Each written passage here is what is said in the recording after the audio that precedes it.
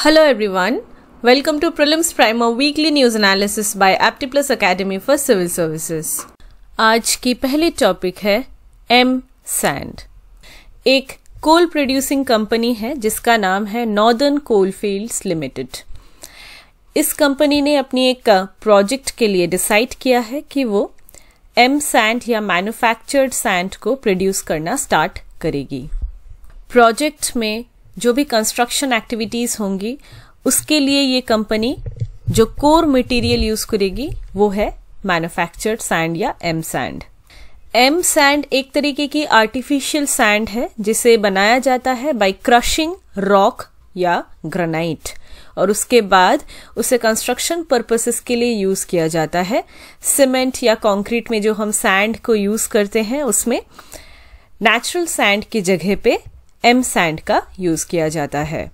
तो it acts as a substitute for river sand लेकिन M sand और natural river sand में कई सारी डिफरेंसेस हैं in terms of physical and mineral properties सबसे पहले एम सैंड की जो मैन्युफैक्चरिंग होती है, उसकी क्या प्रोसेस है, एक बार देख लेते हैं।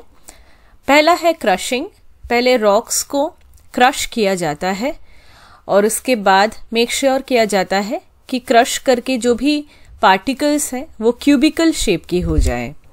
फिर उसके बाद सेकंड स्टेज है स्क्रीनिंग स्क्रीनिंग में ये इंश्योर किया जाता है कि जो भी मटेरियल निकल के आया है आफ्टर क्रशिंग वो प्रॉपरली ग्रेडेड हो। मतलब उसकी जो पार्टिकल्स हो, उसमें एक स्टैंडर्डाइजेशन हो रिवर सैंड की तरह ही ये पार्टिकल्स हो और प्रॉपरली ग्रेडेड हो। फाइनल स्टेज होता है वॉशिंग वॉशिंग में क्या होता है कि वॉश किया जाता है इस मैन्युफैक्चर्ड सैंड को। एज ए रिज़ल्ट जो माइक्रोफाइन पार्टिकल्स हैं, जिनका कोई काम नहीं है, वो रिमूव हो जाती है due to washing M sand और रिवर सैंड में क्या डिफरेंसेस हैं, एक बार देख लेते हैं। एम सैंड ज़ाहिर है फैक्ट्रीज में बनाई जाती है अंडर सुपरविजन लेकिन रिवर सैंड जो है, ये नेचुरली अवेलेबल होती है रिवर बेड्स में। प्रेजेंस ऑफ़ मॉइस्चर की अगर बात करें तो एम सैंड में मॉइस्चर अवेलेबल तब होता है जब वो सैंड वाटर वॉश्ड होता है। पानी से अगर उसे वॉश किया गया है, तभी उसमें मॉइस्चर अवेलेबल होता है। लेकिन रिवर सैंड की अगर हम बात करें तो उसमें नेचुरली मॉइस्चर जो होता है, वो ट्रैप्ड रहता है बिटवीन द फाइन पार्टिकल्स और ये काफ़ी हेल्पफुल होता है for concrete purposes the presence of moisture is very important. M sand has an edge over river sand. How? M sand की जो concrete strength होती है, वो बहुत high होती है लेकिन नेचुरल जो रिवर सैंड होता है, उसका कॉन्क्रीट स्ट्रेंथ जो होता है, वो कम होता है in comparison to M sand तो कॉन्क्रीट स्ट्रेंथ जितना ज़्यादा होगा, उतनी स्ट्रॉन्ग स्ट्रक्चर्स बनेंगी कंस्ट्रक्शन में So, M sand is better than river sand in this context. M sand की जो particles हैं, वो cubic होती है in shape और बहुत ज़्यादा यूनिफॉर्मिटी रहती है क्योंकि इन्हें आर्टिफिशियली मैन्युफैक्चर किया जा रहा है फैक्ट्रीज में तो इस यूनिफॉर्म शेप होने की वजह से इनमें जो बॉन्ड्स बनते हैं, वो बहुत स्ट्रांग होते हैं लेकिन जो नेचुरल सैंड होते हैं उसमें इतनी यूनिफॉर्मिटी नहीं रहती, जायज़ है। तो इसमें एंगुलर ग्रेन्स रहते हैं शार्प रहते हैं कुछ कुछ ऐसी डिफरेंसेस रहती हैं। तो एज ए रिज़ल्ट बॉन्डिंग जो होती है इन पार्टिकल्स के बीच में, वो वीक होती है in comparison to M sand तो ये भी एक डाउन साइड है। एम सैंड में हमने देखा था कि जो फाइनर पार्टिकल्स हैं, उन्हें रिमूव कर दिया जाता है। तो इसमें सिल्ट की कंटेंट ज़ीरो होती है। हमें पता है सिल्ट जो होता है वो फाइन सैंड होता है क्ले जो नेचुरली जब होता है तब तो रनिंग वाटर की वजह से वो कैरी हो जाता है और डिपॉजिट हो जाता है from one place to another and it acts as a sediment तो जो भी रिवर चैनल्स हैं, वहाँ पे सिल्ट मौजूद होती है। लेकिन जब हम एम सैंड पे आते हैं आर्टिफिशियली मैन्युफैक्चर्ड सैंड इसमें सिल्ट का कंटेंट बिल्कुल ज़ीरो होता है। लेकिन अगर हम नेचुरल रिवर सैंड की बात करें तो इसमें सिल्ट का कंटेंट होता है three to twenty percent M sand में मरीन प्रोडक्ट्स जैसे कि शेल्स हो सकते हैं डिफरेंट जो ऑर्गेनिजम्स होते हैं उनके, ये सब बिल्कुल नहीं होता, क्योंकि इसे तो क्रश करके बनाया गया है, लेकिन नेचुरली अकरिंग जो रिवर सैंड है, इसमें two to four percent marine products होता है। एम सैंड में एज मैंशनड अर्लियर कोई भी ओवरसाइज प्रोडक्ट नहीं रहता। पार्टिकल जो होते हैं, वो स्टैंडर्डाइज होते हैं क्यूबिकल शेप के। और रिवर सैंड की अगर हम बात करें तो उसमें six to ten percent enlarge material stones ये सब रहता है। कंट्रोल्ड एनवायरनमेंट में मैन्युफैक्चर किया जाता है एम सैंड को तो वो बेटर क्वालिटी का होता है। लेकिन रिवर सैंड तो वो तो नेचुरली अकर करता है। तो इसमें क्वालिटी जो है, उसमें कोई सुपरविजन की जगह रहती ही नहीं है। और ये कौन से रिवर बेड बेड से नेचुरल सैंड को उठाया गया है, उसके ऊपर ये भी डिपेंड करता है कि सिल्ट कंटेंट कितना है सैंड की क्वालिटी क्या है and a lot of other factors M sand जो है, ये एक इको फ्रेंडली प्रोडक्ट है, क्योंकि इसे रॉक्स को क्रश करके बनाया जाता है। इसीलिए एनवायरनमेंट के ऊपर कोई भी इम्पैक्ट नहीं पड़ता डैमेज कम होता है in comparison to river sand लेकिन रिवर सैंड जो नेचुरली अकरिंग है, जब हम उसे माइन करते हैं तो it is harmful to the environment इससे मरीन जो इकोसिस्टम है, उसके ऊपर कोस्टल इकोसिस्टम के ऊपर असर पड़ता है. इसके अलावा लॉस ऑफ़ लैंड होता है सॉइल इरोजन होता है कोस्टल इरोजन हो सकता है वाटर टेबल जो है, वो उसकी जो लेवल है, वो कम होती रहती है विथ टाइम इसके अलावा सेडिमेंट सप्लाई भी कम होता है। जहाँ पे सैंड माइनिंग ज़्यादा होती है स्पेशली इलीगल सैंड माइनिंग जहाँ होती है, वहाँ पे रिवर्स जो है, वो धीरे धीरे ड्राई हो जाते हैं। So these are the downsides of using naturally occurring river sand तो एम सैंड की क्या एडवांटेजेस हैं? इन नटशल एक बार देख लेते हैं। इसमें कोहेशन मतलब दोनों पार्टिकल्स के बीच में जो बॉन्डिंग है वो इतनी ज़्यादा होती है एम सैंड में कि इसका जो स्ट्रेंथ होता है वो काफ़ी हाई होता है। तो ज़ाहिर है जो भी स्ट्रक्चर्स इस सैंड को यूज़ करके बनाए जाएँगे, वो भी बहुत ज़्यादा मज़बूत होंगे। पहला एडवांटेज दूसरा एम सैंड में कोई भी क्ले डस्ट सिल्ट कोटिंग जैसी दूसरी इम्प्योरिटीज जो है ये प्रेजेंट नहीं होती है। तो बेटर क्वालिटी कंक्रीट जो है ये प्रोड्यूस होने में ये मदद करता है। सिंस एम सैंड को प्रोड्यूस किया जाता है under strict industrial control supervision के अंदर इसे प्रोड्यूस किया जाता है तो ये जो B I S bureau of Indian standards है, इन्हें मीट करती है। एज ए रिज़ल्ट ये बहुत क्वालिटी में हाई होती है in comparison to river sand construction के दौरान अगर रिवर सैंड के जगह पे मैन्युफैक्चर्ड एम सैंड का यूज़ किया जाए in that case cement water की जो रेशियो की रिक्वायरमेंट होती है कंस्ट्रक्शन एक्टिविटी के लिए, वो काफ़ी कम होती है। तो ये एक एडेड एडवांटेज है। एम सैंड का कोई भी एनवायरमेंटल इम्पैक्ट नहीं होता है। दिस इज़ अनदर एडवांटेज कुछ डिसएडवांटेजेस भी हैं एम सैंड के। For example high rise buildings में जो हाई ग्रेड कंक्रीट की ज़रूरत होती है, उसमें सीमेंट का जो रेशियो होता है, वो ज़्यादा होता है उसकी रिक्वायरमेंट ज़्यादा होती है इन कंपैरिजन टू सैंड तो सैंड की रिक्वायरमेंट ही कम है तो अलग से अगर हम उसके लिए एम सैंड को यूज़ करें, जिसमें एक कॉस्टिंग आती है कि फैक्ट्री में अलग से उसको क्रश करना पड़ता है रॉक्स को, फिर जाके वो तैयार होता है। तो अगर हम एम सैंड को यूज़ करें इन सच कंस्ट्रक्शन एक्टिविटीज़ तो वो कभी भी इकोनॉमिकली फिजिबल नहीं होगा, वो कॉस्ट इफ़ेक्टिव नहीं होगा। दिस इज़ अ डिसएडवांटेज कई जगहों पे फॉर एग्ज़ाम्पल बंगाल में ही जो क्रशर होते हैं रॉक्स के, वो अवेलेबल नहीं है। मतलब इंफ्रास्ट्रक्चर नहीं है इक्विपमेंट्स नहीं है। अगर ये नहीं है तो in that case river sand के कंपैरिजन में एम सैंड को प्रोक्योर करना या फिर उसके लिए सेटअप करना पूरी एक इंफ्रास्ट्रक्चर वो कॉस्ट इफ़ेक्टिव नहीं होगी अगेन एम सैंड को बनाने के समय, अगर क्रशिंग प्रॉपरली नहीं की जाती है तो इन दैट केस पार्टिकल्स जो है, वो एंगुलर या फ्लेकी हो सकते हैं। तो ये सूटेबल नहीं है कॉन्क्रीट प्रोडक्शन के लिए। तो काफ़ी पैसा भी खर्च हो गया, जो कि इजीली रिवर सैंड अगर हम प्रोक्योर करते, उसमें इतना पैसा खर्च नहीं होता। टेक्निकली इकोनॉमिकली फिर से ये फिजिबल नहीं होगा, अगर क्रशिंग ही इम्प्रॉपर हो जाती है। So this is another disadvantage Bharat में जो भी सदर्न स्टेट्स हैं फॉर एग्ज़ाम्पल आंध्र प्रदेश, तमिलनाडु, तेलंगाना, कर्नाटका, इन्होंने रिकग्नाइज किया है एम सैंड को as a substitute for river sand और ये स्टेट्स एम सैंड को काफ़ी ज़्यादा प्रमोट कर रहे हैं over the last few years Gujarat भी एम सैंड को मैन्युफैक्चर करता है।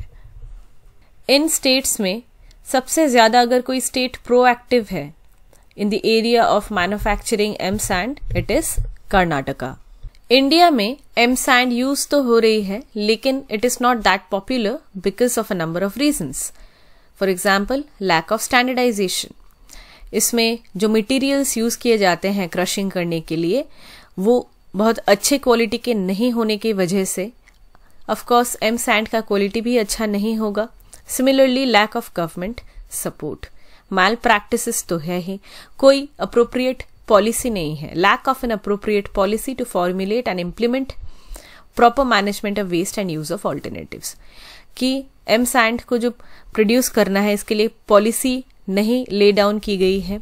एम सैंड मैन्युफैक्चर करने के बाद जो वेस्ट होता है, उसको कैसे डिस्पोज करे प्रॉपरली उसकी क्या मैनेजमेंट होनी चाहिए, इसमें भी लक्यूने है। अवेयरनेस भी नहीं है कि एक ऑल्टरनेटिव सैंड को प्रोड्यूस किया जा सकता है और फिर यूज़ किया जा सकता है in construction activities as a result जो प्राइवेट सेक्टर है कंस्ट्रक्शन सेक्टर उन्होंने बहुत अच्छे से इस चीज़ को रिकग्नाइज किया ही नहीं है। सूटेबल टेक्नोलॉजी नहीं है।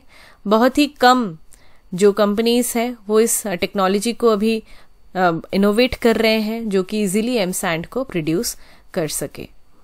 अवेयरनेस ना होने की वजह से लिमिटेड नॉलेज होने की वजह से काफ़ी लोग रिलक्टेंट है टुवर्ड्स यूजिंग ऑल्टरनेटिव सैंड्स इसमें गवर्नमेंट ऑफिशियल्स बिल्डर्स ये कई सारे लोग मौजूद हैं। इन्हें भी डाउट है कि इस सैंड की क्वालिटी पता नहीं कैसी होगी। एज ए रिज़ल्ट जो कंस्ट्रक्शन होगा, जो बिल्डिंग होंगे, वो अच्छे क्वालिटी के होंगे या नहीं। तो रिकमेंडेशंस की बात करें सजेशंस की बात करें तो सबसे पहले तो है कि अवेयरनेस जनरेट करने की ज़रूरत है। मीडिया डिफरेंट ऑर्गेनाइजेशंस जो हैं, ये सभी स्टेक होल्डर्स ये यूज़ कर सकते हैं अपनी जो प्लेटफॉर्म है उससे अवेयरनेस को जनरेट करने के लिए। सेमिनार्स कॉन्फ्रेंसेस इन्हें कंडक्ट किया जा सकता है टू मेक पीपल अवेयर इसमें गवर्नमेंट की भी सपोर्ट होनी चाहिए। गवर्नमेंट प्रॉपर पॉलिसीज़ को ले डाउन करे, उन्हें इम्प्लीमेंट करवाए। कंस्ट्रक्शन इंडस्ट्रीज़ जो है, वो भी अपनी ओर से गाइडलाइंस को आर्टिकुलेट करे इंस्पायर करे, ताकि प्रोजेक्ट्स में ऑल्टरनेटिव सैंड का यूज़ हो सके।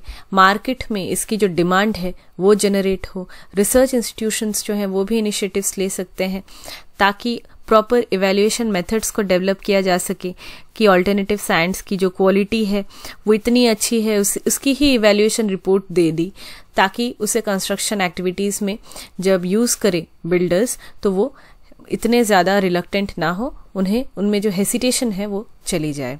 मीडिया का रोल तो बहुत ज़्यादा इंपॉर्टेंट है because they can sensitize the public by highlighting the importance of conserving our natural resources river sand जो है से अगर हम इतनी तेज़ी से हम इसको माइन करते ही रहे, करते ही रहे तो इसका एनवायरमेंटल जो इम्पैक्ट है, वो बहुत ज़्यादा खराब है।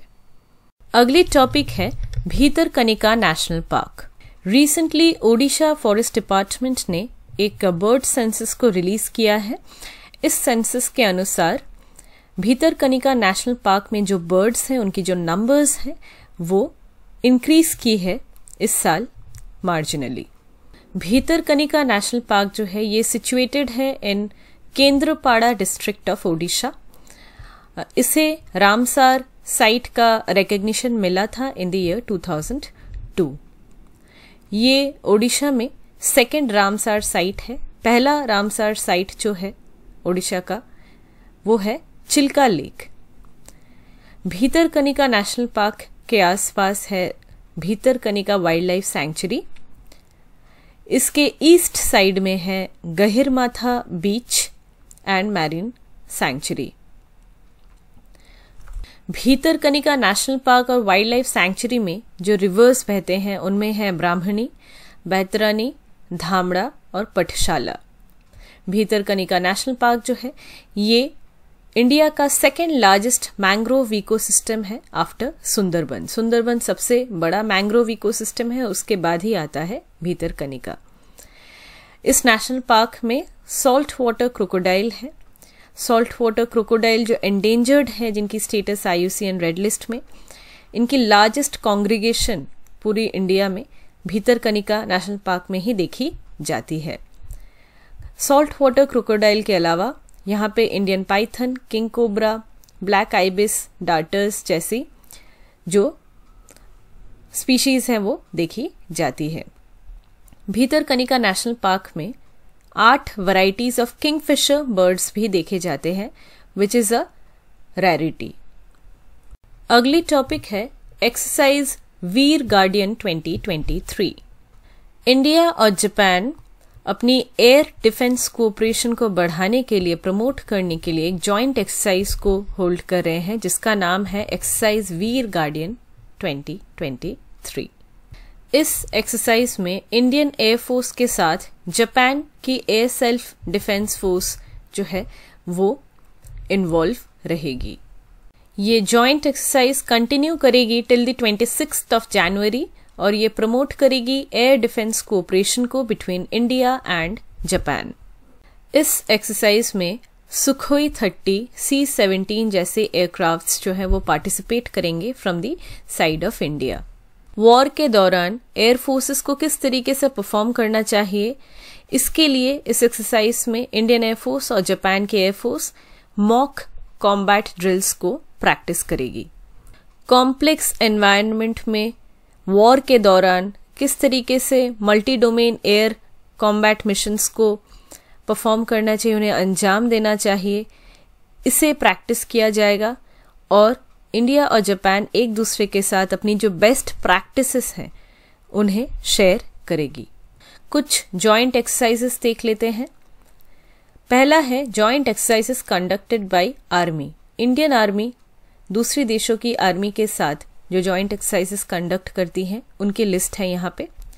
ऑस्ट्रेलिया के साथ परफॉर्म करती है एक्सरसाइज ऑस्ट्रा हिंद बांग्लादेश के साथ एक्सरसाइज संप्रीति चाइना के साथ exercise hand in hand France के साथ एक्सरसाइज शक्ति इंडोनेशिया के साथ एक्सरसाइज गड़ुद शक्ति कजाकिस्तान के साथ एक्सरसाइज प्रबल दोस्तिक किर्गिस्तान के साथ एक्सरसाइज खंजर मॉलडीव्स के साथ एक्सरसाइज इकोवेरिन, मंगोलिया के साथ एक्सरसाइज नोमैडिक एलिफेंट, म्यांमार के साथ एम्बेक्स नेपाल के साथ एक्सरसाइज सूर्य किरण, ओमान के साथ एक्सरसाइज अल नगह, रशिया के साथ एक्सरसाइज इंद्र, सेशेल्स के साथ एक्सरसाइज लामितिये श्रीलंका के साथ एक्साइज मित्र शक्ति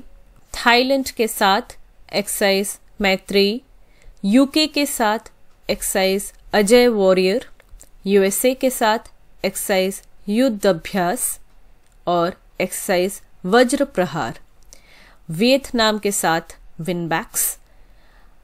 मल्टीनेशनल एक एक्साइज है with the A D M M plus countries इसका नाम है exercise force.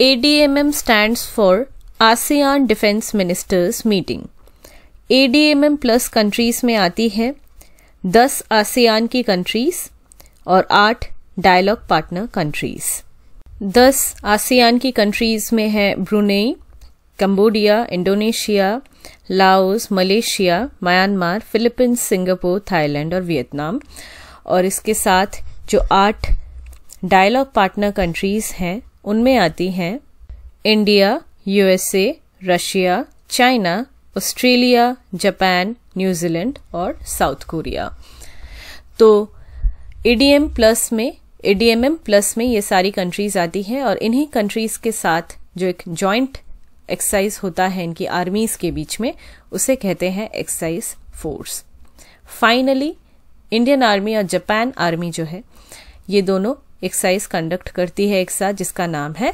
धर्मा गार्डियन अब आते हैं joint exercises conducted by navy Indian navy और दूसरी कंट्रीज़ की नेवी के बीच में क्या क्या एक्सरसाइजेस होती हैं?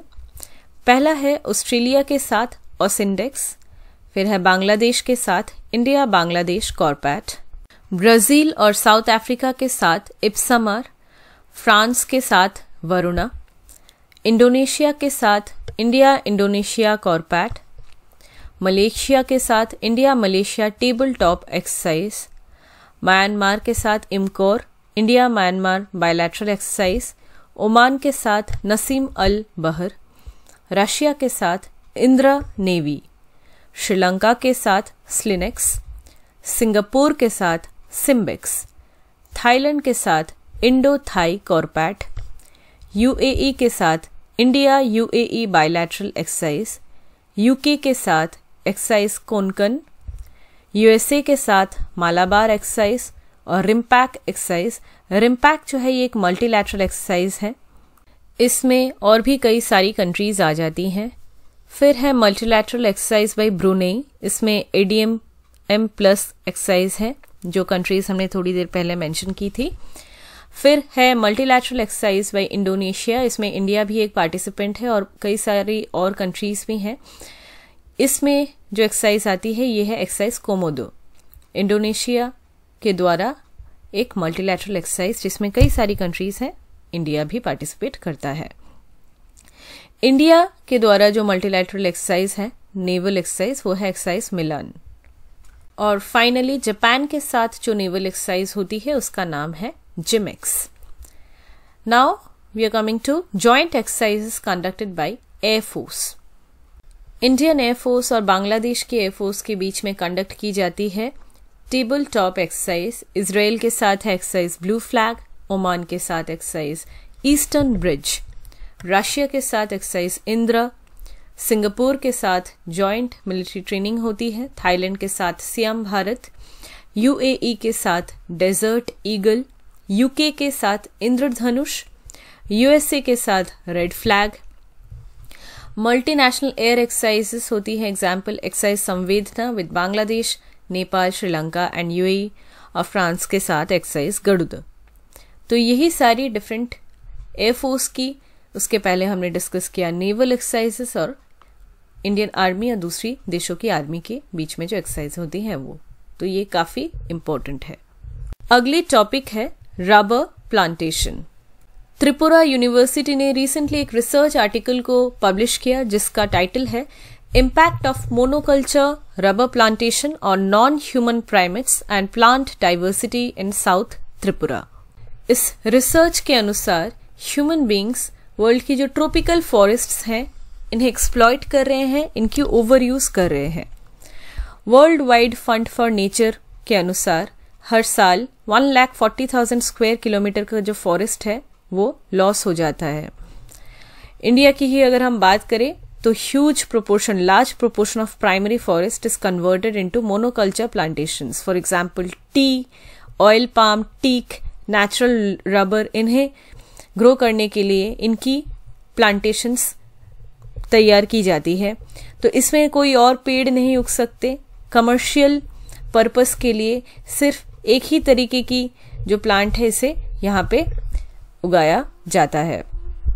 1960 से 2000 द ईयर 2000 इसके बीच में रबर प्लांटेशंस जो है, वो डबल हो गई globally which is a cause of concern economic benefits तो बहुत हुई है, काफ़ी सिग्निफिकेंट है, लेकिन इन प्लांटेशंस का बहुत एडवर्स इफ़ेक्ट होता है on wild life and plant species rubber plantation का काफ़ी ज़्यादा नेगेटिव इफ़ेक्ट इम्पैक्ट पड़ रहा है on non human primates like monkeys and the biodiversity forest cover का रिड्यूस हो जाना, ये बहुत ज़्यादा कंसर्निंग है.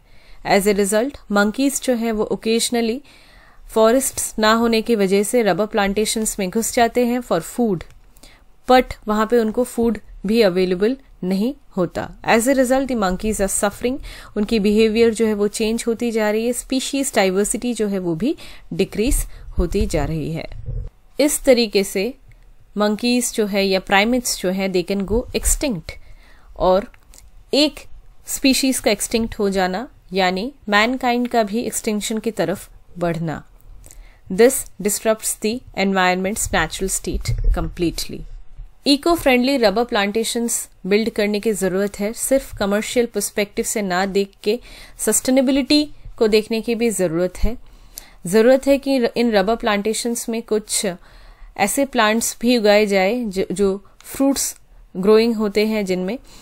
तो प्लांट्स इन्हें खा सकते हैं so that they can get attracted to these rubber plants because of this fruit plants so it's important to have them इसके अलावा इन प्लांट्स के बीच में थोड़ी गैप्स भी होनी चाहिए, थोड़े वाटर बॉडीज होने चाहिए, ताकि एक ये हैबिटेट की तरह काम कर पाए शेल्टर की तरह काम कर पाए for many animals in this area agroforestry जो कॉन्सेप्ट है, ये काफ़ी प्रेवलेंट अभी होता जा रहा है, ये बहुत ही अच्छा कॉन्सेप्ट है। इसमें रबर प्लांट्स के साथ दूसरी जो फॉरेस्ट की वेजिटेशन है एडिबल प्लांट्स यूजफुल प्लांट्स सारे एक साथ ग्रो किए जा सकते हैं और इन्हें उगाया जा सकता है एट प्रॉपर इंटरवल्स तो ये इकोनॉमिकली सूटेबल भी होगा और ये बायोडाइवर्सिटी को साथ साथ कंजर्व भी करेगा.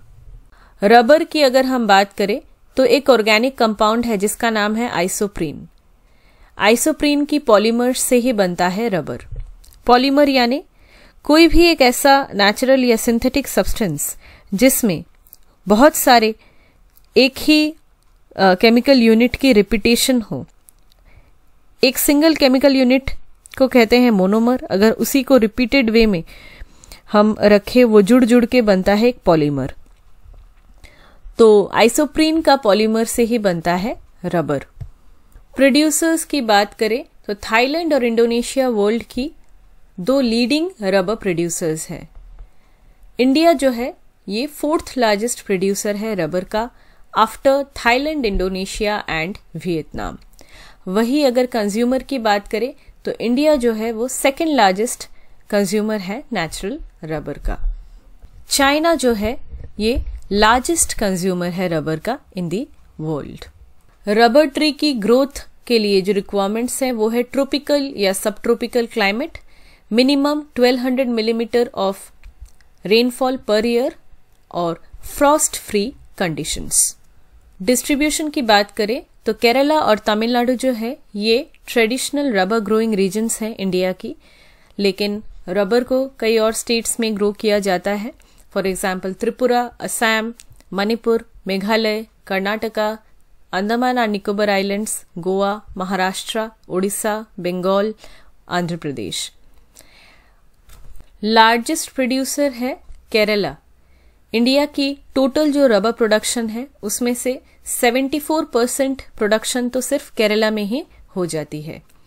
केरला में जो डिस्ट्रिक्ट्स रबर को प्रोड्यूस करते हैं, वो है कोट्टयम, कोल्लम, एर्नाकुलम और कोजिकोडी वही अगर हम तमिलनाडु की बात करें, जो एक मेजर प्रोड्यूसर है रबर का तो जिन डिस्ट्रिक्ट्स में रबर प्रोड्यूस होती है तमिलनाडु में, वो है नीलगिरी, मदुरई, कन्याकुमारी कोयम्बटूर सालेम। कर्नाटका में जो मेन रबर प्रोड्यूसिंग डिस्ट्रिक्ट्स हैं वो है चिकमगलूर और कोडागू। अगली टॉपिक है काला अजार। इंडिया में काला अजार की जो केसेस हैं वो डिक्लाइन हुई है। It has fell to 834 in 2022 from 44,533 in 2007.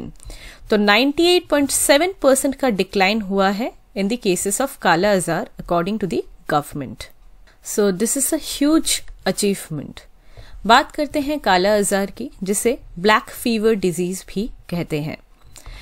काला आजार या विसरल लेशमानियंसिस ये जो है, ये एक प्रोटोजोअन पैरासाइटिक डिज़ीज़ है, जो स्प्रेड करता है बाय सैंड फ्लाई बाइट्स एक पैरासाइट है, जिसका नाम है लेशमानिया डोनोवनी जब ये सैंड फ्लाइज इन्फेक्टेड हो जाती है विद दीज पैरासाइट्स और फिर जाके वो किसी को बाइट करती है, तब उन्हें कालाजार हो जाता है।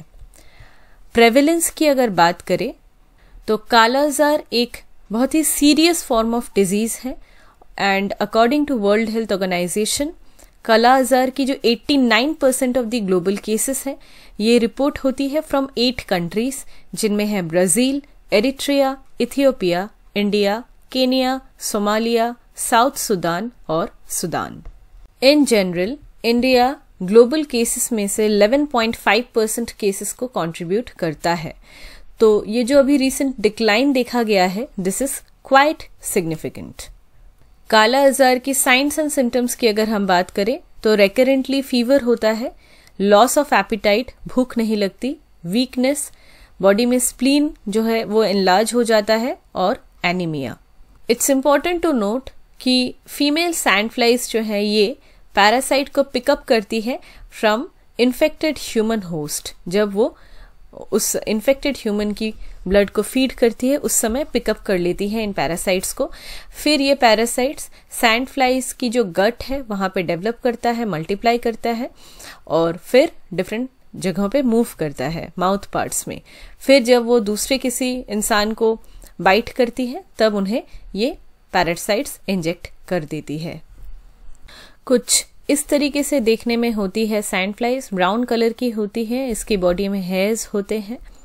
सैंड फ्लाइज जो है, ये मडी हाउसेस की जो क्रैक्स और क्रिविसेस होते हैं, वहाँ पे ये रहते हैं specially when the condition are dark and humid vulnerable population की बात करें तो ये डिज़ीज़ जो पुअरेस्ट पीपल है, उन्हें अफेक्ट करता है because this disease is linked to malnutrition it is linked to population displacement जो डिस्प्लेस हो जाते हैं अपनी जगह से, फिर एक ऐसी एनवायरनमेंट में जाते हैं जहाँ पे हाइजीनिक कंडीशंस नहीं है पुअर हाउसिंग है, और इसके साथ साथ फाइनेंशियल रिसोर्सेस ना होने की वजह से उनकी जो इम्यून सिस्टम है, अगर वो वीक है, अगर उन्हें मेल न्यूट्रिशन है तो वो बहुत ज़्यादा वलनरेबल हो जाते हैं to this particular disease environmental changes for example deforestation हो या अर्बनाइजेशन इन सब कारणों की वजह से भी इस पैरासाइट का बहुत ज़्यादा प्रेवलेंस देखा जाता है।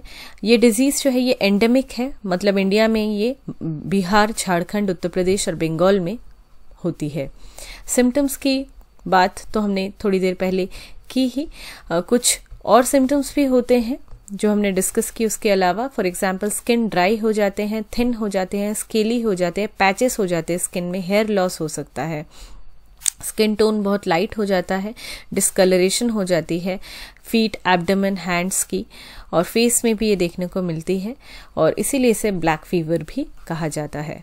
ट्रीटमेंट की बात करें तो एंटी लेशमानियल मेडिसिन जो इस पैरासाइट को खत्म करने वाली मेडिसिन है, उन्हें यूज़ किया जाता है to treat this particular disease इसके अलावा वर्ल्ड हेल्थ ऑर्गेनाइजेशन ने वेक्टर कंट्रोल के लिए काफ़ी सारी रिकमेंडेशंस दी है। इस केस में वेक्टर जो है वो सैंड फ्लाई है। तो सैंड फ्लाई को ही अगर हम जड़ से उखाड़ फेंके तो ये डिज़ीज़ स्प्रेड नहीं करेगी।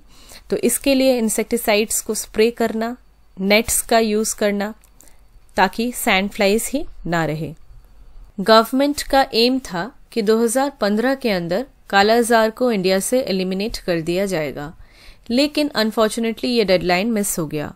लेकिन कई सारी इनिशिएटिव्स ली गई थी, जिसकी वजह से कालाजार की जो केसेस है it has been brought down significantly उनमें से एक मेन जो मिशन था, वो था नेशनल काला आजार एलिमिनेशन प्रोग्राम इस प्रोग्राम के अंदर सेंट्रल गवर्नमेंट ने मेडिसिन इंसेक्टिसाइड्स और टेक्निकल सपोर्ट प्रोवाइड किया और स्टेट गवर्नमेंट्स ने इसके इम्प्लीमेंटेशन के लिए जो है कॉस्टिंग जो है वो बियर की। ये प्रोग्राम जो है इम्प्लीमेंट की गई by state and district malaria control office as well as primary health care system तो इन सब कारणों की वजह से काला आजार की जो केसेस है, वो सिग्निफिकेंटली अभी कम हो गई है और बहुत ही जल्द वो एलिमिनेट भी हो जाएगी। अगली टॉपिक है silent valley national park silent valley national park में एक बर्ड सर्वे को कंडक्ट किया गया था रिसेंटली और इस बर्ड सर्वे में 141 स्पीशीज ऑफ़ बर्ड्स को आइडेंटिफाई किया गया है, जिनमें से 17 जो स्पीशीज है वो न्यू है। बात करते हैं साइलेंट वैली नेशनल पार्क की।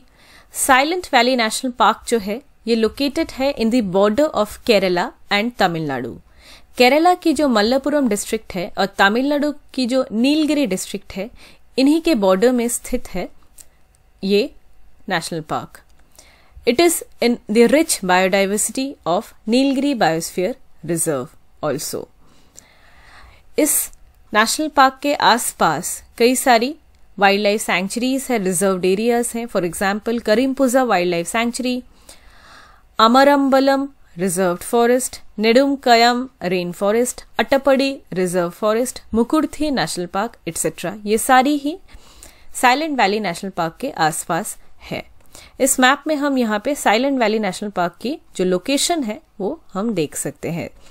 अगर हम नॉर्थ टू साउथ जो डिफरेंट प्रोटेक्टेड एरियाज़ हैं, उन्हें अरेंज करें तो हम देख सकते हैं, ऊपर है अरलम वाइल्ड लाइफ सेंचुरी फिर है वायानाड फिर है साइलेंट वैली फिर यहाँ पे है परिम्बिक्यूलम फिर इराविक्यूलम पेरियर शेंडुरे पेपरा नयर इस तरीके से है। यहाँ पे लेफ़्ट में हम देख सकते हैं पिची वेजानी चिमुनी थेटेकड़ ये भी है। तो ये सारी प्रोटेक्टेड एरियाज़ है। नॉर्थ टू साउथ हम एक बार देख लिए हैं इसको। मुकुर्थी पीक जो है ये साउथ इंडिया की फिफ्थ हाइस्ट पीक है। अंगिंडा पीक ये सारी जो है इंपॉर्टेंट पीक्स है और ये इस नेशनल पार्क के आसपास ही स्थित है। साइलेंट वैली नेशनल पार्क के पास कुछ रिवर्स जो है ओरिजिनेट करती है। इनमें है भवानी रिवर जो कि कावेरी रिवर की एक ट्रिब्यूटरी है। कुंतीपुजा रिवर जो कि भरतपुजा रिवर की एक ट्रिब्यूटरी है। कादालुंडी रिवर जो है, ये साइलेंट वैली नेशनल पार्क से डायरेक्टली ओरिजिनेट करती है। इसके अलावा रिवर कुंती जो है, ये डिसेंट करती है फ्रॉम द नीलगिरी हिल्स और फिर ये जो नेशनल पार्क है, इसे ट्रवर्स करती है पूरे लेंथ को कवर करते हुए। साइलेंट वैली नेशनल पार्क में जो वैली एरियाज़ है, ये ट्रोपिकल और sub tropical moist broadleaf forest eco region में आते हैं। साइलेंट वैली जो है it has the largest population of lion tailed macaque जो कि एक एंडेंजर्ड स्पीशीज है प्राइमेट्स की. It's important to note that Silent Valley National Park has the largest population of lion tailed macaque lion tailed macaque जो कि एक endangered species है it is only native to India और ये western Ghats में पाई जाती है. It is primarily endemic to rain forest of Western Ghats जो कि स्प्रेड हुए हैं through Karnataka Kerala and Tamil Nadu Silent Valley National Park और इसके आसपास की जो एरियाज़ हैं, यहाँ पे कुछ इंडिजिनस पॉपुलेशन रहती है ट्राइबल पॉपुलेशन उनमें आते हैं मुदुगर, फिर है Irula. Brown wood owl banded bay cuckoo Malabar wood shrike white throated kingfisher Indian nightjar ये सारी जो है, ये कुछ नई स्पीशीज हैं बर्ड स्पीशीज जो इस बार के सेंसस में पाई गई हैं। इनमें jungle nightjar large cuckoo shrike ये सारे भी आते हैं। इसके अलावा कुछ और बर्ड्स भी यहाँ पे पाए जाते हैं, जो बहुत ही फ़ेमस है crimson backed sunbird bulbul Indian white eye Indian swiftlets etcetera Indian elephants जो हैं, ये मेजर एनिमल्स है इस पार्क के, और लायन टेल्ड मकाक तो हमने डिस्कस किया ही। तो हाईली एंडेंजर्ड स्पीशीज यहाँ पे पाए जाते हैं। इसके अलावा टाइगर है गौर है लेपर्ड है wild boar panther Indian civet और sambar. Save Silent Valley Movement. एक बहुत ही प्रोमिनेंट मूवमेंट रहा है। 1970s में सेव साइलेंट वैली मूवमेंट को स्टार्ट किया गया था in a protest against the construction of hydro electric plants over here as a result इस प्रोजेक्ट को कैंसिल भी किया गया।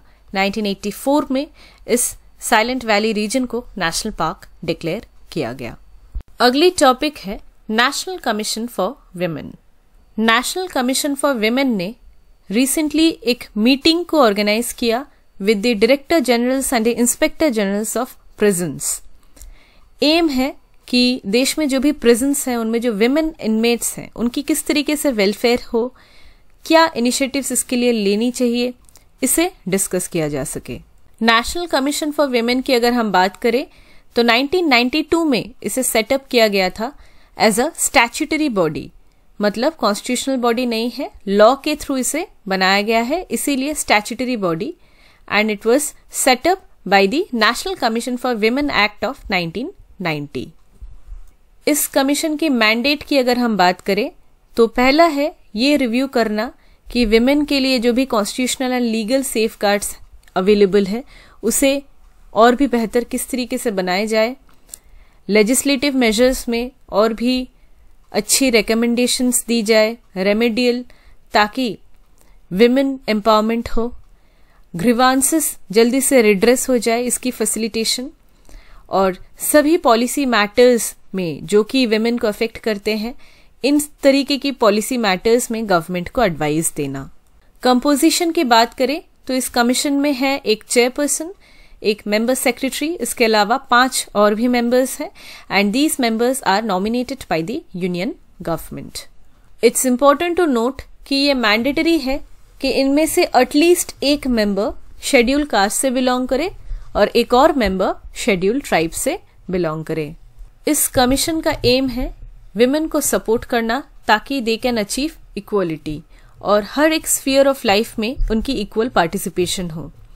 इट इज़ इंपॉर्टेंट कि उनकी जो राइट्स हैं, वो सिक्योर हो।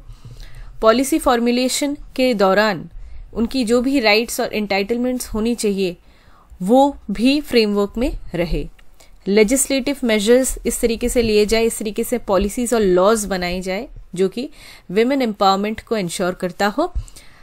जो भी लॉज बनाए गए हैं विमेन सेंटर्ड उनकी एनफोर्समेंट इफेक्टिवली हो। स्कीम्स एंड पॉलिसीज़ की भी इम्प्लीमेंटेशन प्रॉपरली हो, यही एम है इस कमीशन का। अगली टॉपिक है Prithvi two. Recently Prithvi two, जो कि एक शॉर्ट रेंज बलिस्टिक मिसाइल है, इसे सक्सेसफुली लॉन्च किया गया from the Chandipur coast of Odisha ballistic missile यानी एक ऐसी मिसाइल जो कि प्रोजेक्टाइल मोशन को यूज़ करती है, और इसी मोशन को यूज़ करते हुए ये वॉर हेड्स को अपनी टारगेट तक पहुँचा देती है। इसके बारे में हमने कई बार डिस्कस किया है। तो पृथ्वी टू जो है, ये भी एक बलिस्टिक मिसाइल है और ये शॉर्ट रेंज बलिस्टिक मिसाइल है। इट्स इंपॉर्टेंट टू नोट कि पृथ्वी जो है, ये एक surface to surface short range ballistic missile है, जिसे DRDO that is Defence Research and Development Organisation ने डेवलप किया है। और ये इसे बनाया गया है under the Integrated Guided Missile Development Programme IGMDP इसके बारे में हमने कई बार डिस्कस किया है। इसे इंडिया की जो स्ट्रेटेजिक फोर्स कमांड है, इस पे डिप्लॉय किया गया है। वेरिएंट्स की अगर हम बात करें तो पृथ्वी मिसाइल प्रोजेक्ट में तीन तरीके की मिसाइल्स आती हैं, तीन वेरिएंट्स हैं and they are for the use by Indian Army Indian Air Force and Indian Navy variants की अगर हम बात करें पहला है पृथ्वी वन। ये आर्मी के लिए है, आर्मी वर्जन। इसकी रेंज है 150 किलोमीटर की और पेलोड कैपेसिटी है हज़ार के जी हज़ार के जी की वॉर हेड को ये टारगेट तक पहुँचा सकता है 150 किलोमीटर की रेंज तक। आर्मी इसे यूज़ करती है। पृथ्वी टू मिसाइल जो है, इसे एयरफोर्स वर्जन भी कहते हैं। एयरफोर्स इसे यूज़ करती है। इसकी रेंज है साढ़े तीन सौ किलोमीटर्स और पेलोड है पाँच सौ केजी की। पाँच सौ केजी की वॉरहेड ये टारगेट तक पहुँचाने की क्षमता रखती है। और तीसरी है पृथ्वी थ्री जिसे अभी रिसेंटली लॉन्च किया गया टेस्ट फायर किया गया। ये नेवल वर्जन है। इसकी रेंज है साढ़े तीन सौ किलोमीटर्स की और पेलोड कैपेसिटी है हज़ार केजी की। फ्यूल की अगर हम बात करें तो पृथ्वी वन में सिंगल स्टेज लिक्विड फ्यूल का यूज़ होता है और ये surface to surface ballistic missile है। पृथ्वी टू में भी सिंगल स्टेज लिक्विड फ्यूल का यूज़ होता है। इसकी हमने रेंज और इसकी बात भी कर ली। और फाइनली है पृथ्वी थ्री ये टू स्टेज मिसाइल है और इसमें सॉलिड फ्यूल का यूज़ किया गया है। पहला स्टेज जो है वो सॉलिड फ्यूल है सेकंड स्टेज जो है वो लिक्विड फ्यूल है। तो दो जो स्टेजेस हैं, इसमें मौजूद है। रॉकेट किस तरीके की है, उसका रेंज क्या है, इसके ऊपर डिपेंड करके जो है फ्यूल सिलेक्ट किया जाता है। सॉलिड फ्यूल में क्या होता है, इसमें फ्यूल और ऑक्सीडेंट दोनों को एक साथ मिक्स करने के बाद एक फाइन पाउडर तैयार किया जाता है। उसे प्रेस करके एक सॉलिड केक की तरह उसे यूज़ किया जाता है और वो बर्न करके जो है प्रोपेल करता है रॉकेट को एनर्जी प्रोवाइड करता है। और जब तक वो पूरी तरह यूज़ नहीं हो जाता, वो बर्न करता रहता है। When we talk about liquid propellant तो वो कई तरीके की होती हैं, जैसे कि लिक्विड हाइड्रोजन लिक्विड ऑक्सीजन ये इसे स्पेस शटल मेन इंजन में यूज़ किया जाता है गैसोलिन और लिक्विड ऑक्सीजन को भी यूज़ किया जाता है कभी कभी केरोसिन और लिक्विड ऑक्सीजन को यूज़ किया जाता है, पहली बार इसे यूज़ किया गया था। जैसे कि सैटर्न फाइव जो कि अपोलो प्रोग्राम मून का, उसमें इसे यूज़ किया गया था। अल्कोहल और लिक्विड ऑक्सीजन को यूज़ किया जाता है। नाइट्रोजन टेट्रोक्साइड मोनोमिथाइल हाइड्रोजिन ये सारी जो है डिफरेंट लिक्विड प्रोपिलेंट्स हैं, इन्हें यूज़ किया जाता है। तो किस तरीके की रॉकेट है, इसके ऊपर डिपेंड करता है कि लिक्विड को यूज़ किया जाएगा सॉलिड को यूज़ किया जाएगा कॉम्बिनेशन को यूज़ किया जाएगा, ये सारी चीज़ें। धनुष मिसाइल धनुष मिसाइल जो है, ये पृथ्वी थ्री मिसाइल की एक वेरिएंट है सरफेस टू सरफेस है। इसे डेवलप किया गया था इंडियन नेवी के लिए। ये कन्वेंशनल और न्यूक्लियर वॉरहेड न्यूक्लियर केपेबल जो वॉरहेड है, ये दोनों को कैरी करने में केपेबल है। पेलोड कैपेसिटी है 500 केजी से 1000 KG and it can strike targets in the range of 350 kilometres Dhanush जो है, ये एक ऐसा सिस्टम है जिसमें एक स्टेबिलाईजेशन प्लेटफॉर्म है। उस प्लेटफॉर्म के ऊपर से ही मिसाइल को जो है लॉन्च किया जाता है। धनुष की रेंज कम है और इसे यूज़ किया जाता है to destroy an aircraft carrier या फिर एनिमी पोर्ट जो पास में ही है। तो नेवी पर्पज से ये बहुत ज़्यादा सिग्निफिकेंट है। अगली टॉपिक है रोड सेफ्टी वीक हर साल National Road Safety Week celebrate किया जाता है from eleventh of January to seventeen of January इसे ऑर्गेनाइज किया जाता है by the Ministry of Road Transport and Highways इस वीक को सेलिब्रेट करने का इंटेंशन है।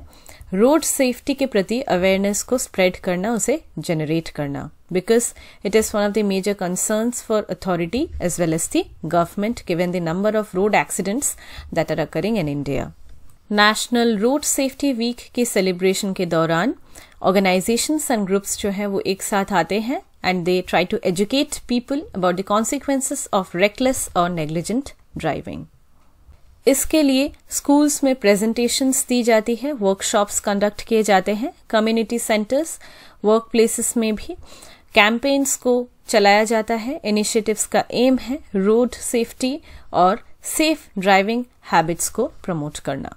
नेशनल रोड सेफ्टी वीक को सबसे पहले सेलिब्रेट किया गया इन द ईयर 1989 फिर उसके बाद 2010 में सेंटर ने सैंक्शन किया National Road Safety Policy and this was recommended by the Sundar committee 2023 की जो नेशनल रोड सेफ्टी वीक है, इसके थीम को अभी भी अनाउंस नहीं किया गया है। लास्ट ईयर की जो नेशनल रोड सेफ्टी वीक थी, उसमें जो थीम था, वो था सड़क सुरक्षा, जीवन रक्षा। रोड एक्सीडेंट्स की बात करें तो इंडिया का रैंक नंबर वन है in the number of road accident deaths across 199 countries. World की सिर्फ़ one percent of the vehicles जो है वो इंडिया में रन करती है। इसके बावजूद India global death in road accidents के लिए जो परसेंटेज है, उसमें से 11 परसेंट कॉन्ट्रीब्यूट करता है। This is the highest in the world according to the World Bank हर घंटे 53 रोड क्रैशेस होते हैं और हर चार मिनट में एक इंसान की डेथ होती है ड्यू टू रोड एक्सीडेंट हर साल डेढ़ लाख लोगों की मौत हो जाती है इंडिया में due to road accidents so what are the major reasons behind road accidents in India पहला है क्रॉसिंग द स्पीड लिमिट फिर है intoxication with alcohol drugs medication it's important to note अगर एक ड्राइवर की ब्लड में 100 M of blood में 30 milligram of alcohol पाई जाती है देन इट इज़ कंसिडर्ड कि वो अल्कोहल के इन्फ्लुएंस में है और alcohol is culprit behind drunk driving फिर है रेकलेस ड्राइविंग वो तो हमें पता है। Over confidence street racing stop signs को देखने के बावजूद नहीं रुकना रेड लाइट्स को देखने के बावजूद नहीं रुकना changing lanes too quickly these are the major reasons फिर है not following rules and regulations on the road जो भी लिखे हुए हैं। अनअवेयर है, ऐसा हो सकता है इग्नोरेंट है, ऐसा हो सकता है, और डेलिबरेटली कर रहे ऐसा भी हो सकता है। फिर है deplorable conditions of the road infrastructure अच्छी नहीं है इंडिया में जो नेटवर्क ऑफ़ रोड्स है, वो वास्ट है, लेकिन कई जगहों पे पॉट होल्स हैं रोड साइंस नहीं है। अंडर कंस्ट्रक्शन रोड्स रहते हैं, काफ़ी लंबे समय तक रहते हैं ये and all these lead to road accidents state of the vehicle vehicles fit नहीं है to operate on the roads in India और इवेल्युएशन ठीक से नहीं होती इंस्पेक्शन ये भी कारण है distracted driving due to reading messages etcetera avoiding safety gears like seat belt and helmets these are also some other reasons Justice Radhakrishnan committee इस कमिटी ने पॉइंट आउट किया है कि there are lapses serious lapses in implementation of safety laws by states जिसकी वजह से road फेटिलिटीज बढ़ रही है। स्टेट गवर्नमेंट्स को इस कमिटी ने रिक्वेस्ट की है कि वो एक फॉर्मुलेट करे स्टेट रोड सेफ्टी पॉलिसी इसके अलावा स्टेट रोड सेफ्टी काउंसिल्स की भी गठन करे, ऐसा इस कमेटी ने रेकमेंड किया है। और भी कई सारी रिकमेंडेशंस दी हैं। यहाँ पे इम्पोर्टेंट है ये जानना कि जस्टिस राधाकृष्णन कमेटी ने रोड सेफ्टी के ऊपर रिकमेंडेशंस दी है। फिर है motor vehicles amendment act and its provisions motor vehicles amendment bill 2019 में इसे पास किया गया। तो इसमें कई नई प्रोविजंस को डाली गई ताकि रोड एक्सीडेंट्स कम हो रोड सेफ्टी जो है वो बढ़े।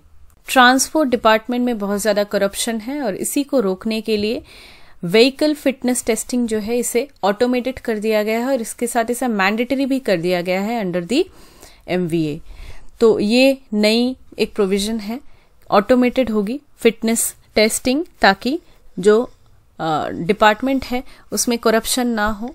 जो रॉन्ग डॉक्यूमेंट्स हैं फेक इसे फर्निश ना किया जा सके व्हीकल ठीक है कि नहीं, इसकी टेस्टिंग प्रॉपरली हो सके।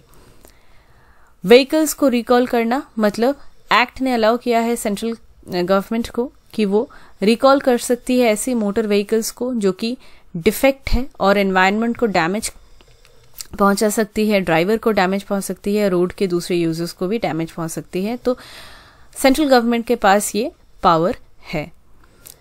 और इसके लिए जो मैन्युफैक्चरर है of the recalled vehicle will be required to reimburse the buyers for the full cost of the vehicle buyer ने व्हीकल खरीद लिया, उसके बाद सेंट्रल गवर्नमेंट ने उसे रिकॉल कर लिया बिकॉज़ गाड़ी में डिफेक्ट है और क्योंकि वो सूटेबल नहीं है, वो एनवायरनमेंट ड्राइवर के लिए वो हार्मफुल हो सकता है तो जो मैन्युफैक्चरर है उसे पूरा रिम्बर्स करना पड़ेगा बायर को, पैसा, गाड़ी का जो खरीदा है। बायर ने। डिफेक्टिव व्हीकल को रिप्लेस करना होगा with another vehicle which has similar और better specifications motor vehicles amendment act जो है 2019 की, इसमें जो पेनल्टीज हैं, वो बहुत सारी स्ट्रिंजेंट पेनल्टीज डाली गई हैं। ड्राइविंग विदाउट लाइसेंस 1988 में बस पाँच सौ रुपए का फाइन होता था। 2019 में इसे पाँच हज़ार कर दिया गया है। ड्रंक ड्राइविंग का दस हज़ार से पंद्रह हज़ार, ओवर स्पीडिंग का दो हज़ार से चार हज़ार। डिपेंड करता है कि क्या साइज़ है व्हीकल की मीडियम पैसेंजर व्हीकल है हैवी पैसेंजर व्हीकल है इसके ऊपर बेसिस पे ही ओवर स्पीडिंग के ऊपर पेनल्टी बिठाई जाएगी। ड्राइविंग विदाउट इंश्योरेंस इसमें 2000 और इम्प्रिजेंट में का, में का भी प्रोविज़न है। तीन महीने का इम्प्रिजेंट में इसमें हो सकता है। फिर है ड्राइविंग विदाउट हेलमेट हज़ार रुपए की फाइन और लाइसेंस तीन महीने के लिए डिस्कालीफाई हो जाएगा। ड्राइविंग विदाउट सीट बेल्ट हज़ार रुपए की फाइन अगर चाइल्ड रिस्ट्रेंट है तो हज़ार रुपए की fine not providing way for emergency vehicles for example ambulance in that case दस हज़ार की फाइन और छह महीने का इम्प्रिजनमेंट जुविनाइल के केस में क्या ऑफेंसेस हैं? ये नई प्रोविज़न है। कई सारी नई प्रोविज़न हम देख सकते हैं यहाँ पे। बिल्कुल, एक तो है not providing way for emergency vehicles ये भी नई प्रोविज़न है, दस हज़ार की फाइन छह महीने के इम्प्रिजनमेंट और ये ऑफेंसेस बाय जुविनाइल्स ये प्रोविज़न पहले नहीं था। अगर कोई जुविनाइल गाड़ी चला रहा है तो in that case the guardian और the owner shall be deemed to be guilty पच्चीस हज़ार की फाइन तीन साल का जेल। और जुविनाइल को भी ट्राई किया जाएगा जुविनाइल एक्ट के तहत। और व्हीकल की जो रजिस्ट्रेशन है, उसे भी कैंसिल कर दी जाएगी। तो बहुत ही स्ट्रिंजेंट नॉर्म्स जो है वो डाले गए हैं, जो पेनल्टीज हैं, बहुत स्ट्रिक्ट है। एक नेशनल रोड सेफ्टी बोर्ड को बनाया जाएगा सेंट्रल गवर्नमेंट के द्वारा, और ये बोर्ड जो है सेंट्रल गवर्नमेंट और स्टेट गवर्नमेंट को एडवाइस करेगी on all the aspects of road safety and traffic management जिसमें स्टैंडर्ड्स होंगे मोटर व्हीकल्स के व्हीकल्स की licensing registration road safety standards new vehicle technology का प्रमोशन एटसेट्रा एजुकेशन अवेयरनेस मतलब national road safety month week हर साल इसको observe करना for spreading awareness and strengthening road safety एक certification course for road safety auditors शुरू किया जाएगा in Indian academy of highway engineers पहली बार गवर्नमेंट ने uh, सबसे पहले सेलिब्रेट किया road safety month in the year 2021 and उसके बाद अभी ये फिर से सेलिब्रेट होगा। Engineering both roads and vehicles बहुत इंपॉर्टेंट है। ब्लैक स्पॉट्स को आइडेंटिफाई किया गया है नेशनल हाईवेज में, जो एक्सीडेंट प्रोन स्पॉट्स हैं। इन्हें रेक्टिफाई करना पेडेस्ट्रियन फैसिलिटीज़ के लिए भी गाइडलाइंस है नेशनल हाईवेज के लिए। और डिसेबिलिटीज जिन्हें हैं पर्सन विद डिसेबिलिटीज उनके लिए भी कई सारी गाइडलाइंस जो है वो इशू की गई है। To all the states and union territories हर एक स्टेट में एक model inspection and certification centre ये मैंडेटरी है। नेशनल रोड सेफ्टी पॉलिसी जो है, इसे भी फॉर्मुलेट करने की ज़रूरत है। नेशनल रोड सेफ्टी काउंसिल इससे पहले मेंशन किया गया है। फोर ईज में आते हैं education engineering enforcement and emergency care ये सारी जो हैं, चीज़ें आएँगी। ये मल्टीप्रोंग स्ट्रेटेजी होगा to address the issue of road safety model driving training institutes होंगे इन स्टेट्स सेफ्टी स्टैंडर्ड्स को और भी टाइटन किया जाएगा। सीट बेल्ट से लेके anti lock braking system etcetera road safety engineering workshops भी चलाए जाएँगे। 2030 तक का एजेंडा है for sustainable development 3.6 pledges to half by 2020 the number of global deaths and injuries from road traffic accidents और इसके अलावा और भी है। Access to safe, affordable, accessible, and sustainable transport systems for all, improving road safety quality reliable sustainable infrastructure हो तो सारी ही चीज़ों को एड्रेस किया गया है तो ये एस का पार्ट भी है। तो रोड सेफ्टी के लिए हम स्कूल सिलेबस में इसे इनकॉर्पोरेट कर सकते हैं प्राइमरी लेवल में। रोड सेफ्टी एजुकेशन को एग्ज़ाम्स जो होती है लाइसेंस देने के लिए उसे और भी स्ट्रिक्ट बनाए प्रैक्टिकल टेस्ट्स ले। रोड डिज़ाइंस को बेटर करें। जो अल्कोहल के इन्फ्लुएंस में है, ऐसे ड्राइविंग को क्रैक डाउन करे। By standard training programme very important अगर किसी की एक्सीडेंट होती है तो कई बार देखा गया है कि बस फ़ोन में वो वीडियोस लेने में बिज़ी रहते हैं, जो ह्यूमैनिटी है वो ख़त्म होती जा रही है। तो इसके लिए सेंसिटाइजेशन प्रोग्राम्स की ज़रूरत है अवेयरनेस के प्रोग्राम की ज़रूरत है ट्रेनिंग प्रोग्राम की ज़रूरत है कि वो जल्दी से बाई स्टैंडर्ड किस तरीके से जो विक्टिम है उसको हेल्प कर सके। ट्रैफ़िक रूल्स की enforcement stricter penalties higher penalties punishment states जो हैं वो काफ़ी ल्यूकम रहे हैं अभी तक, स्ट्रिक्ट जो है वो स्टेप्स नहीं लिए हैं। ज़ीरो टॉलरेंस रूल इन्फोर्समेंट होना चाहिए, ये इम्पोर्टेंट है, और बेटर रोड बिहेवियर को इनक्रेज करना, ये सारी चीज़ें जो है कर सकते हैं। बेटर लॉ इन्फोर्समेंट ये तो सबसे इम्पोर्टेंट है कि लॉज तो है, लेकिन इन्फोर्समेंट वीक होने की वजह से जो है रोड सेफ्टी इंश्योर नहीं हो पाती। तो ये सारी चीज़ें इंपॉर्टेंट है और सबसे ज़्यादा इंपॉर्टेंट जो है यहाँ पे वो है high political will populist measures की वजह से स्टेट गवर्नमेंट्स का जो एटीट्यूड है वो काफ़ी ल्यूक फॉर्म है। वो ऐसा है कि मतलब स्ट्रिक्ट रूल्स तो हैं इम्प्लीमेंटेशन नहीं हो पाती है। जो करप्ट पुलिस है, वो भी इसके लिए काफ़ी ज़्यादा रिस्पॉन्सिबल है और गवर्नमेंट जानने के बावजूद just because of vote bank वो कुछ नहीं करती। And this is the reason and this is causing the silent pandemic of road accidents. कुछ important international road safety conventions की अगर हम बात करें तो उसमें है ब्रसीलिया डिक्लेरेशन ये ग्लोबल लेवल कॉन्फ्रेंस हुआ था on road safety and it was held in Brazil इसमें रिकमेंडेशंस हैं on how to strengthen existing legislations adopt sustainable transport and strengthen post crash response इस डिक्लेरेशन में पार्टिसिपेंट्स ने reassert किया अपनी कमिटमेंट को to reduce the deaths cost due to traffic accidents to half it by 2020 और 2030 की जो agenda for sustainable development है, इसमें भी इसका ज़िक्र है। स्टॉक होम डिक्लेरेशन इसमें कमिटमेंट किया गया है कि ऐसी स्टेप्स ली जाएँगी ताकि रोड सेफ्टी इंश्योर हो एक्सीडेंट्स की वजह से जो लॉस ऑफ़ लाइफ होता है, वो एड्रेस हो जाए। क्योंकि हर साल बहुत सारे एक्सीडेंट्स होते हैं और इसमें कई सारे डेलीगेट्स थे 140 कंट्रीज़ से। सब लोगों ने मिलके ये कमिटमेंट किया कि loss of lifes due to road accidents जो होते हैं, हर साल 1.3 मिलियन लाइव्स आर लॉस्ट हर साल ऑन द वर्ल्ड्स रोड्स तो इसे एड्रेस करना है। फिर है international road assessment programme I RAP ये एक रजिस्टर्ड चैरिटी है and it is dedicated to save lives by eliminating high risk routes throughout the world इसमें गवर्नमेंट की पार्टनरशिप रहती है road authorities mobility clubs development banks NGO research organisations की रहती है, ताकि ये हाई रिस्क रूट्स को इंस्पेक्ट कर सके स्टार रेटिंग्स डेवलप कर सके रिस्क मैप्स को बना सके और सेफर रोड्स इन्वेस्टमेंट प्लान्स में भी वो शामिल हो सके।